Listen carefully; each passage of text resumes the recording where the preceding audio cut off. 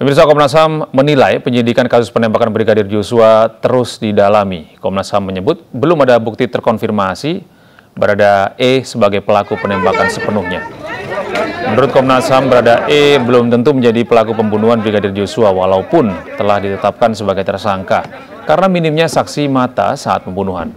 Komnas HAM juga menjelaskan soal penundaan uji balistik tim sus didasari adanya temuan baru penyidikan atas kasusnya meninggalnya Brigadir Joshua.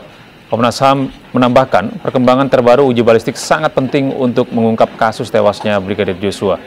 Hingga kini tim sus sudah dua kali meminta penundaan pemeriksaan kepada Komnas HAM.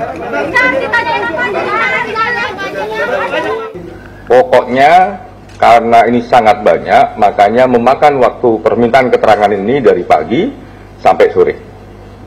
Dan menurut kami eh, rentang waktunya dalam konteks menjawab kebutuhan-kebutuhan mendasar bagaimana konstruksi peristiwanya mencukupi.